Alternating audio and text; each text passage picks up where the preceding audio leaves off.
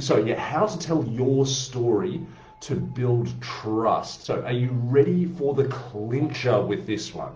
It's not about you. It's at, well, yeah, I mean, your story has you in it, but it's about them. So you want to start your backstory at the point where your audience is now. They're listening to you for a reason, and the reason is not to hear about your schooling, for example, unless that phase of your life was pivotal to the problem or challenge you faced.